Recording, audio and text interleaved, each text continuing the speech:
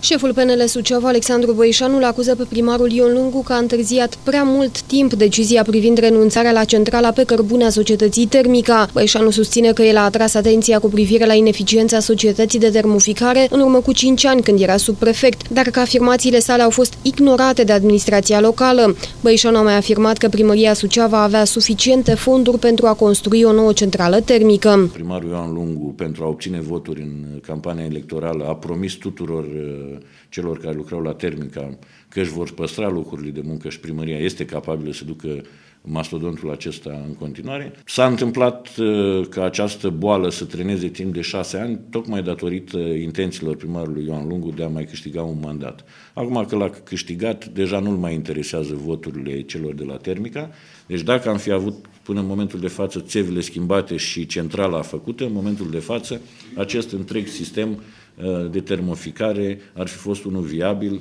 și corect. În momentul de față vom avea țevi, dar la iarnă nu vom avea ce să introducem în aceste țevi decât lipsa de incompetență a primarului și a celor care conduc municipiul uh, Suceava.